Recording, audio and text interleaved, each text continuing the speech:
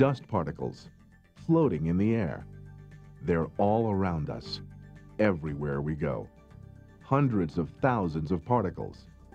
Most so small they're invisible. Only fractions of a single micron in size. Very small, considering a single strand of human hair is 100 microns thick. In our everyday lives, these particles don't create much of a problem. Most eventually fall and settle harmlessly on some nearby surface. When the dust builds up to a noticeable extent, we simply wipe off the surface, recirculating most of the particles back into the air. In the home, much of it is found in fibrous materials like carpet, upholstered furniture, and drapes. An industry standard for measuring airborne particles is to count how many pass through a cubic foot of airspace in one minute. The average home has more than 300,000 particles per cubic foot. In schools, there are about 200,000 particles. In hospitals, the number of particles is reduced to 100,000. Even in operating rooms, there are about 1,000 particles. The NASA clean room we will be studying has a maximum of only 10 particles per cubic foot per minute.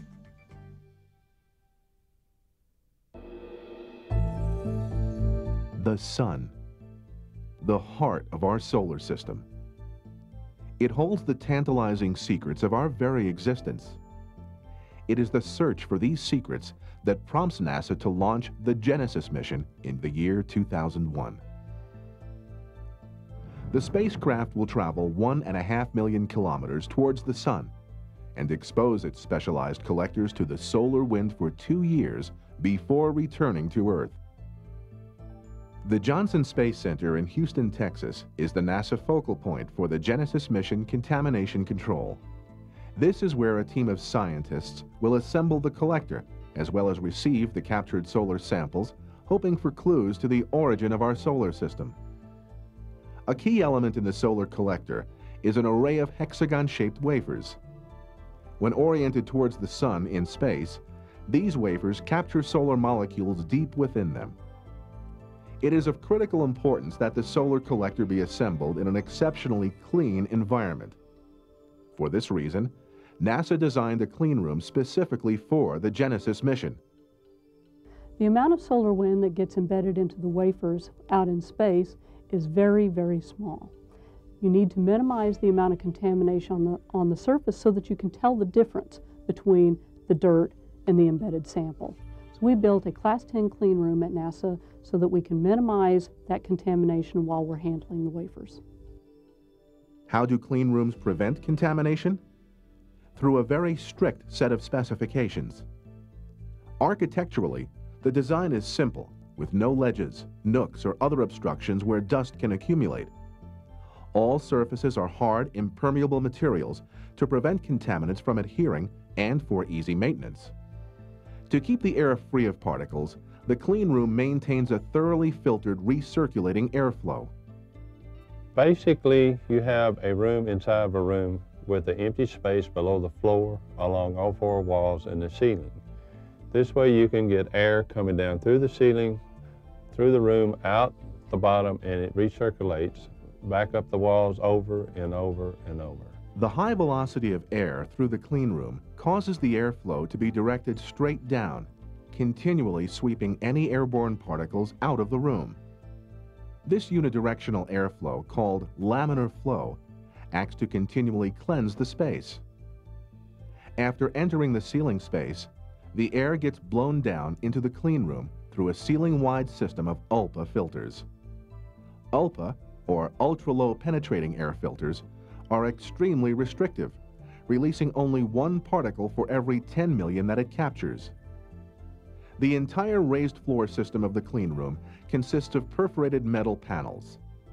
Once air exits through the floor, it gets recirculated upwards through the wall space. The Genesis mission cleanroom is categorized as Class 10. Only 10 particles, 1 micron in size, are permitted in 1 cubic foot of airspace every minute. This Class 10 cleanroom, is NASA's cleanest. The adjacent viewing corridor is rated slightly higher as Class 100. What are all these particles doing in the air around us, and where do they come from? Mostly from the human body. Our skin is made up of many layers of thin tissue. We are continuously shedding the top layer as new layers are regenerated. Our bodies create a whole new layer every few days. As the top layer dries out, it turns into loosely attached flakes which eventually break up into tiny pieces and enter the atmosphere. Clothing does little to contain the particles. The open weave structure of natural fibers allows free passage. Even greater amounts escape through seams, holes, and other openings. The human body transmits a varying number of particles depending on the amount of activity. With little or no movement, the body sheds about 100,000 particles per minute. In more active roles, the body releases up to 1 million particles. And in full exercise, 10 million. Special suits are needed for working in the clean room. The material is composed of a continuous synthetic filament that generates no particles and allows little transmission through it. Clean room suits are the frontline defense against contamination. We know we are the number one source of contamination, and if we don't protect the clean environment against ourselves, the result could be failure. Surgical garments are worn beneath the suit. Care must be taken to avoid letting the coveralls come in contact with the floor while getting dressed. Snaps around the ends of the pant legs ensure a tight fit. Rubber-soled boots extend high up onto the leg and fit snugly around the foot. A double pair of surgical gloves lap tightly over the end of the sleeves. One of the largest sources of contamination comes simply from breathing contaminant-laden water vapor gets expelled from the body by the human respiratory system. This vapor evaporates in the air, leaving behind a significant amount of contaminants. In the clean room environment, specially designed helmets are used to prevent this source of contamination. The bottom flap covers the gap between the top of the coveralls and the neck. A tube from the helmet attaches to a HEPA filter pack worn on the belt. The pack provides airflow through the helmet and releases filtered exhaust back into the clean room. Even with all the protection these suits offer, some particles still escape. The scientists take this into consideration when organizing the work process. It would have been a lot easier to install the wafers into the array frames if the frames were lying in the horizontal position. But if we did that, the installers would have to lean over the wafers and would potentially drop contamination directly onto the wafers. So instead, we're going to hold the array frames vertical and install the wafers that way, and then the room airflow will blow all contamination down onto the floor instead of onto the wafers. The scientists take great care to avoid physical contact with any part of the solar collector since this could cause contamination. Special tools have been designed so that system components can be assembled without the necessity of direct bodily contact. Before assembly, the individual parts of the solar collector, with the exception of the pristine wafers themselves, need to be scrubbed clean to remove contaminants. The Genesis cleanroom contains a separate wash area for this purpose. Using ultra-purified hot water, all components are thoroughly washed with simple household liquid detergent.